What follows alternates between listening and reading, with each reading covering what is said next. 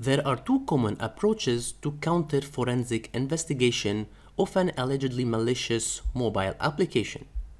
There is the static analysis and the dynamic analysis.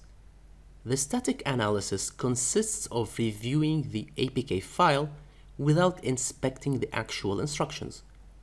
This type of analysis can verify whether the data is malicious, present information about its functionality, and sometimes give information allowing us to create some uncomplicated network signature.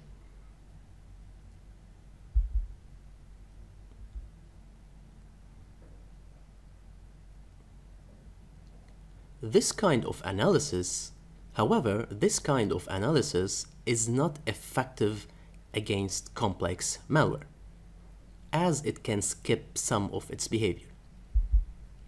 As for the dynamic analysis, the main methods of dynamic analysis include launching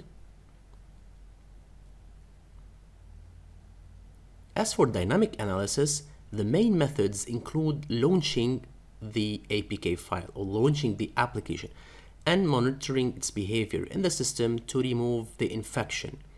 However, before running the malware safely, you must make sure to run it in a lab environment to minimize the harmful effect.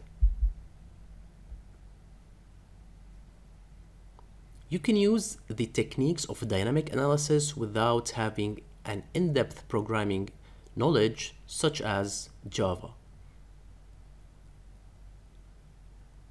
But again, this kind of technique is not useful for all the malicious program as it can skip some functionality. So the best way is to combine static and dynamic analysis techniques.